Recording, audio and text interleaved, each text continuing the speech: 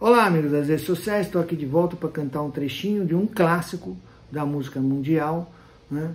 lançado em outubro de 1968, um compacto simples nos Estados Unidos, por um intérprete chamado Louis Armstrong, a música foi escrita especialmente para ele, né? chamado What a Wonderful World.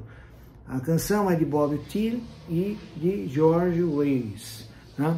E ela é uma música que serviu, na verdade, como se fosse um antídoto ao clima político, uh, racial americano nesta época. E, na realidade, ela tem uma mensagem extremamente otimista e esperançosa em relação ao futuro e que mundo que as crianças que estavam nascendo naquela época iriam ter para ver e para viver. Né? O, alguns anos mais tarde, poucos anos mais tarde, o João Lemos, o John Lennon, lançou uma música com a mesma mensagem, Imagine, né? É, frente às, às guerras que estavam existindo e aos conflitos que estavam existindo no mundo, fazendo uma ode à paz mundial. Uh, enfim, é uma música muito bonita, muito conhecida, foi intensamente regravada por uma legião enorme de artistas, mas eu acho que a interpretação do Louis Armstrong ainda permanece é, incólume, vamos dizer assim. Eu fiz uma versãozinha, um trechinho da versão no violão, num campo harmônico um pouquinho diferente, tá?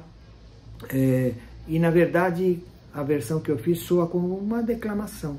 Na verdade, quase que não estou cantando, eu estou declamando a letra, um trecho da letra da música. Eu espero que vocês gostem. Então fiquem com o clássico What a Wonder, um trecho de um clássico chamado What a Wonderful Boor, uma música eterna.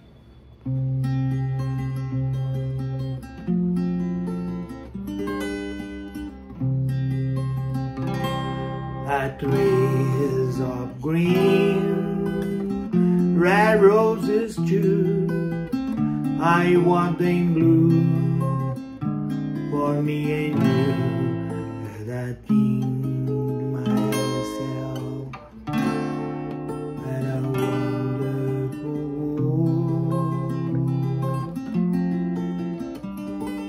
I see skies of blue and clouds of white and bright of day.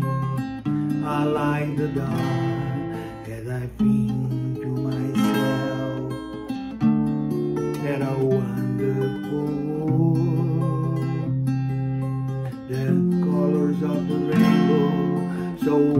it in the sky and house on the face of people passing by. I see friends shake hands, say you, how do you do? There's a